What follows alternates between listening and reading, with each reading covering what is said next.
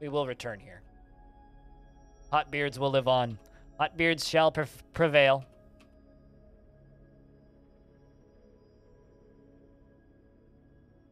This was a good fort.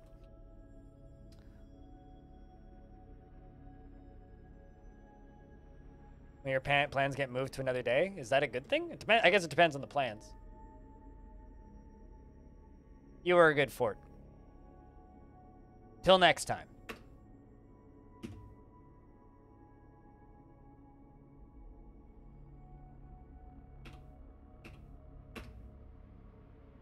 Your fortress has settled into the rhythm of day to day living beyond your meticulous concern.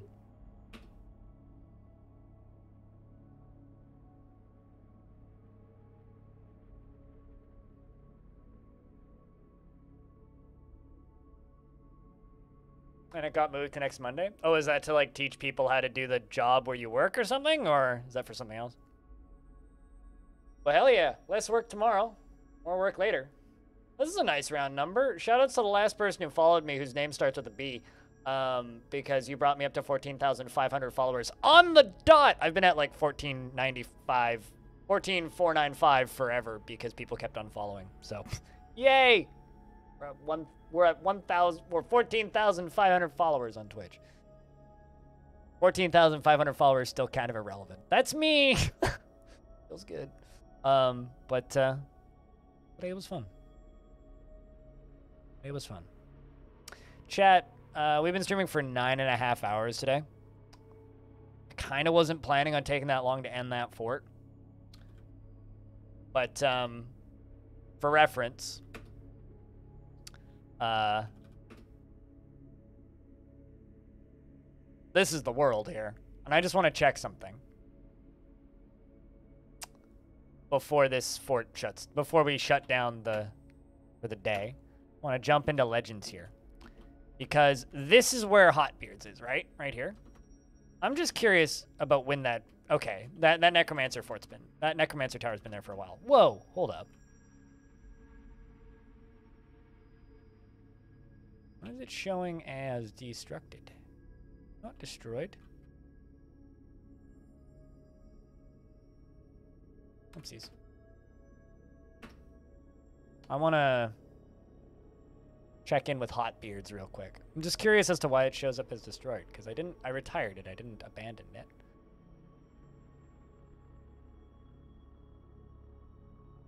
Hotbeards. Lots of history in Hotbeards. It was a busy fort. I mean, we did spend like more than 15 years here.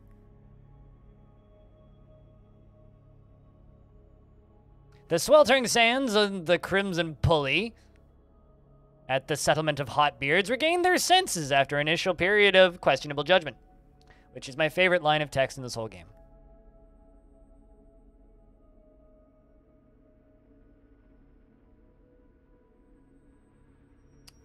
So the nice thing is about this piece of history here is it's got all of the dwarves that died in here, as well as the human criminal at Raji, the Empress has corrupted the dwarf Tosid. That is what caused it. In 171. The human Hether Death Years, uh, who was pretending to be Raji. That's what caused the whole thing. Merchants from the Misty Howl visited the sweltering sands at Hotbeards. Rotten Beast Hollow was struck down.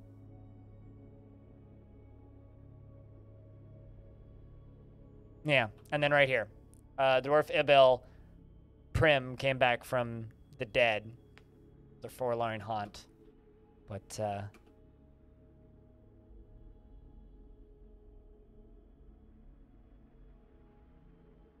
huh? Apparently, I had a vampire in my fortress that was struck down. That's interesting. I had a vampire in my fortress during the fighting. That's kind of funny. Who wasn't one of the ones that was in prison. There was another one. So one of those visitors must have been a vampire. Maybe that's what helped cause it. This is all the fighting that killed the fort, basically, right here. All of these dwarves constantly getting struck down.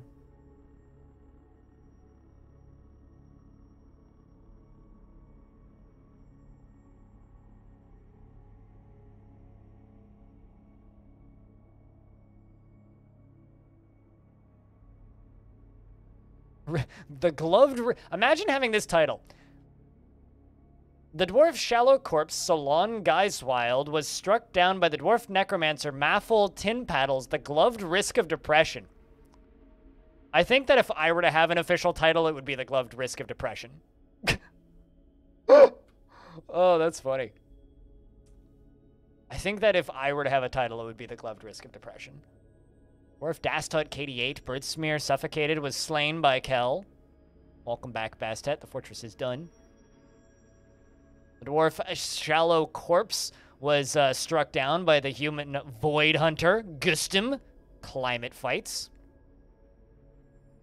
I'm pretty sure that's just like someone who doesn't believe in global warming, a climate fighter. Friggin' Bob was slain. Uh, let's see where Stone ended up, because Stone got uh, expelled.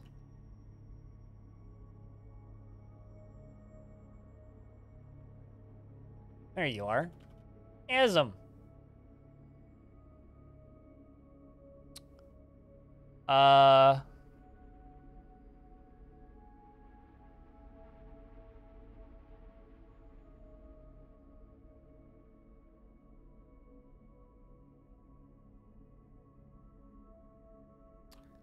Uh, the sweltering sand expelled. So Stone was fighting in the angry attack in defense of Hotbeards in 169. And then uh, the sweltering sand expelled Stone, and Stone went and settled in oiled steel.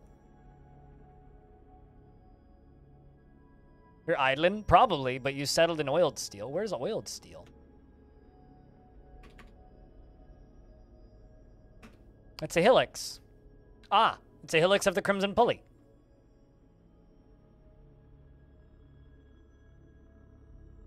Seems like a peaceful place considering Zasset uh, Wieldslid died of old age in oiled steel. Huh. Apparently Nox lived here previously. Looks like a bunch of our dwarves lived here previously. Actually, it looks like a bunch of our dwarves moved here after Umber Bulwark. They all moved to oiled steel after Umber Bulwark. Hmm. That's interesting. So between Umber Bulwark and um, Hotbeards, a lot of our dwarves lived here. So they all moved here, which means you must have you you went back to a place that you've lived previously, quite literally. Interesting. Well, that's cool. Good to know that you you found a spot. I mean, it's probably safer, frankly. But um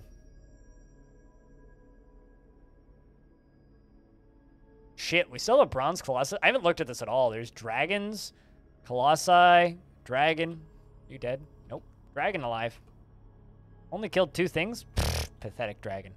Get good, dragon. How about this dragon? That's a dragon. 24 kills. Got hydras. Multiple hydras. Many rocks, too. More Bronze Colossus. Ooh, male dragon. Cool, cool. Hydras. Lots of hydras. Lots of hydras, dragons, and tons of forgotten beasties. Well, that's all good. Zombie dragon, that tends to happen, yeah. um, I'm looking for that adamantine warhammer.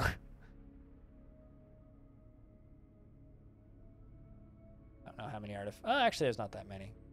Just gonna eyeball it and see if I can spot our adamantine warhammer and see where it ended up. Someone made dwarf bone leggings. That's distressing, right there. The Barbarius Famines is was a legendary dwarf bone leggings. It's dwarf bone leggings. All craftsmanship is of the highest quality. It is decorated with lime wood and encircled with bands of alligator bone. On the item is an image of life with the animal societies, the Black Diamond Bound Codex, and, and bone. Ugh. That's a gnarly artifact. What else do we have? Anything interesting? It's a blind cave bear bone buckler. Blind cave bear bone buckler. That's a lot of B's.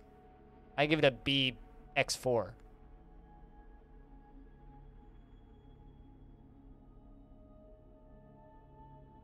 Bone hat. There's a lot of dwarf bone artifacts in this world. Sort. No, I can't sort by type. There's a lot of warhammers too. Ah, there he is. Apparently, Rhinestone managed to kill a dwarf with his warhammer. Or actually, Rhinestone managed to kill a goblin before the fighting ended. On the last time, the last time the the last day the fort was alive, uh, managed to get a kill, actually, or the last day that Rhinestone was alive, managed to get a kill uh, during the coup with the adamantine warhammer, which is impressive because that's like killing a person with an inflatable hammer made of balsa wood. that's that's impressive. Rhinestone managed to actually get a kill with that artifact. Um, in the early spring of 171, the goblin Neglissus suff suffocated, slain by the dwarf Rhinestone. So, hold on a second. Rhinestone suffocated a goblin with this hammer. Um. How? How? How? How? Did he like shove it in its mouth or something? Inflated inside his throat? Uh, that's what she said. Um, that or he like repeatedly like that or he just like dropped the hammer and strangled him, which is a possibility. Hmm. That's that's kind of awesome. Push the handle against the throat? I guess. I don't know.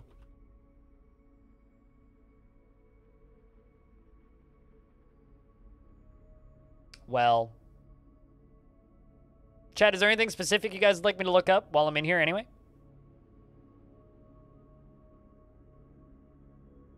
This is true. The handle will not break. It is kind of an unbreakable hammer. That's a lot of beasts.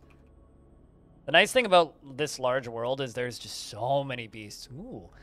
Lubok the Mahogany Vine. Somebody worshipped this thing.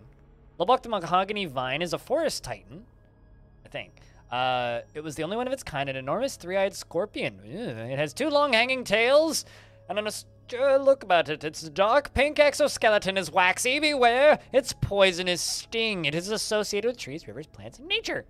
And animals.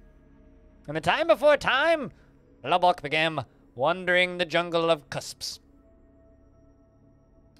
The ignoble sacks are its enemy.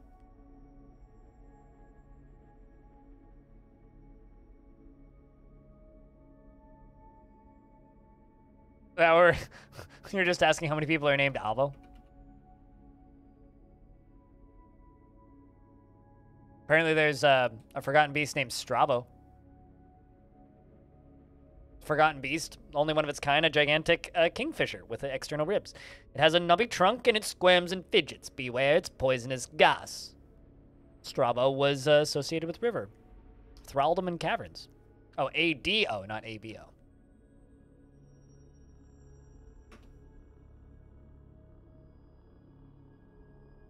Wow, there's a female Hydra with that name. Not very many people with just the name. Actually, I don't think there's anybody. Hey, there's Tail Grandmaster. Who apparently still alive?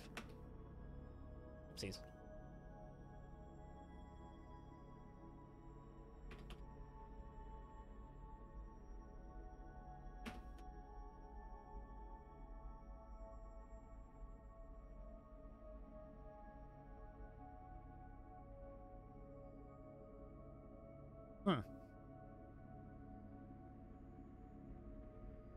Left Crimson Pulley, settled in Umber, settled in the Umber Bulwark. Became a member of the Crimson Pulley.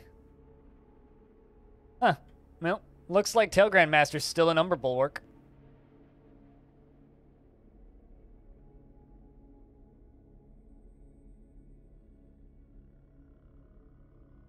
Also, Cajun Bard was their former spouse. That's interesting. Because Cajun Bard was in the New Fort.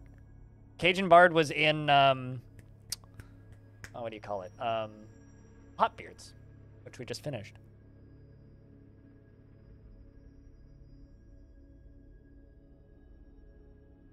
Um, but 80, oh. Oh, there you go. I mean, it's not actually that many. It's, there's a Kato, a Pato. Lots of Katos and Patos. Katos. There's one. Literally a Marsh Titan. Otto, Spicy, was a Marsh Titan. It was the only one of its kind. A great three-eyed tick. Ugh. It has a curling trunk and a regal bearing. Its yellow-green exoskeleton is sleek and smooth. Beware, it's fire. Great. Uh, Otto was associated with water, plants, nature, muck, and animals.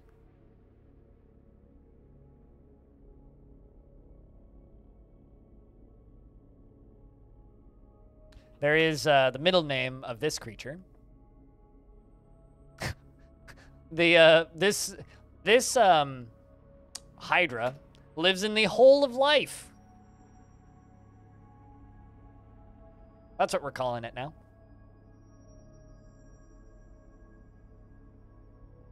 Can I just say that there is a faction in this world, or a group in this room world called the Room of Organs? the Room of Organs! Mm-hmm. Yes. The Citadel of Stakes. They must hate vampires then. The Roof of Arenas. They're very much protesting the fact that Arena mode might not be in uh, Premium DF at launch. It's fine. Nobody cares. Um, but yeah, chat. Uh, I th I think they're spelled the same, aren't they? Pretty sure organs and organs is are both spelled the same. I, I mean, it might be the musical instrument. I don't actually know. But um, I think that that's me for the evening, guys. I would imagine organs, and I would imagine that it is a uh, goblin faction that are evil. But, friends, ladies, gentlemen, everybody else, that's me for the day. Tomorrow's my day off, so I won't be streaming uh, because it's Monday. But before I do anything, I just want to say if you want to throw some money at a good cause, um, well, first I'm going to pause me so it doesn't look weird. But uh, this is a Tiltify. The link can be found down beneath the stream uh, with a little donate button. Um, we are raising some money for uh, Project Hope, which is Hope for Ukraine um, helping people that are displaced in the crisis going on over there between Ukraine and Russia under the Blind is Helping campaigns. If you want to help me help um, other people, uh, you can do that there. I chucked I chucked a hundred bucks from my own account into there today. Uh, I matched the